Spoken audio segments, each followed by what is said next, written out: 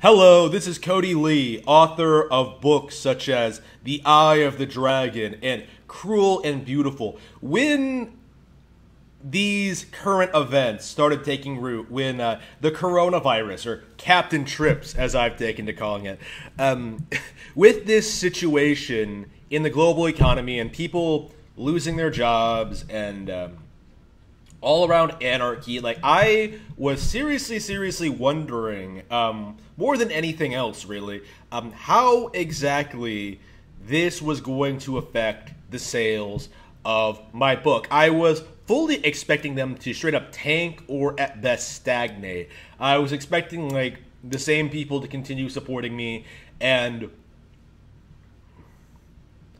to continue working on my next project in isolation, in quarantine, for the foreseeable future. However, however, however, however, uh, the, my book sales have actually gone up. I've actually been doing better than ever the past month. It's uh, it's kind of amazing, and, and I just wanted to um, take the opportunity opportunity to stop and like thank you for your support. Um, I know it's a tough time for all of us right now. I'm very I'm very, very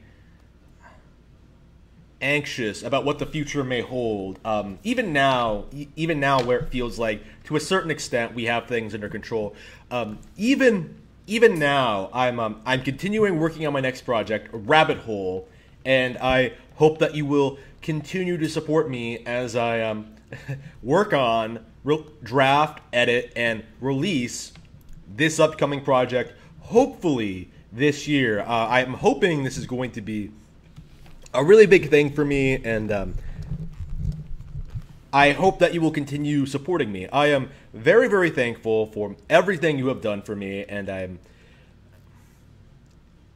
I would be honored if you would conti- continue to support me in the future. Thank you.